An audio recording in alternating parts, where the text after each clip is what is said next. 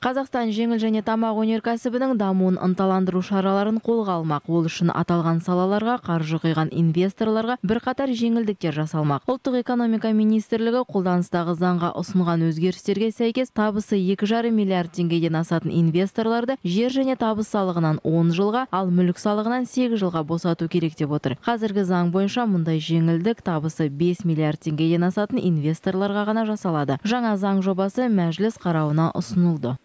По легкой пищевой промышленности, снижение э, порога. жеңіл және тамақ өнеркәсібіне инвестициялық жобаларды тарту үшін инвестицияның шекті мөлшерін 2 миллион айлық есептік көрсеткіштен 1 миллион айлық есептік көрсеткішке дейін төмендету ұсынылған яғни келісімшартқа отыру үшін 5 миллиард теңге қаржы салу қажет емес осы шаралар инвесторларды көптеп тартуға жағдай жасайды қазірдің өзінде қызығушылық танытқан компаниялар бар осы норма сол себепті жасалды которые готовы на это. Поэтому э, была проработана эта норма.